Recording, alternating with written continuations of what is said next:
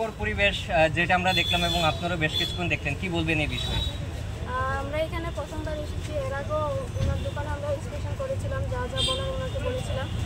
আজকে আসার পর ওখানে অনেকগুলো মানে খাবার বেশি নষ্ট ছিল, যেগুলো নষ্ট ছিল ওগুলি ফেলে দেওয়া হয়েছে এবং তাই ওনাকে লাস্টবারের মতো ওয়ার্নিং দেওয়া হয়েছিল যে এগুলো আর খাদ্যা যাতে আগামী কোনো সময় এইসব নষ্ট খাবার জমাই থাকে দোকানে যাতে না রাখে ম্যাডাম আগরতলা তো দেখি এই ধরনের যখন বিষয় সামনে আসে তখন মোটা অঙ্কের জরিমানা করা হয় এবং এক দুদিনের জন্য দোকান সিল করা হয়।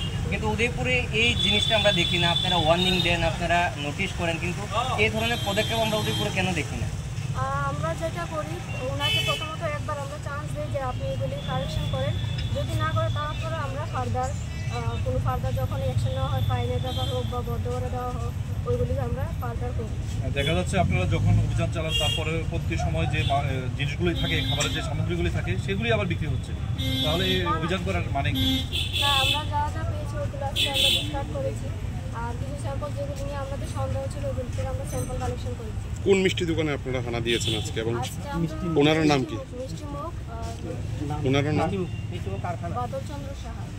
কয়টি দোকান আপনারা এই অভিযান চালান আজকে? আমরা মিষ্টি দোকান তো একটাই দেখলাম তারপর কিছু গ্রসারি দোকানও দেখলাম আর এগুলি চলছে। এখন ধরনের অভিযান- চলবে এই ধরনের অভিযান। হ্যাঁ হ্যাঁ এখন থেকে এগুলি অবশ্যই চলছে। আজকের এই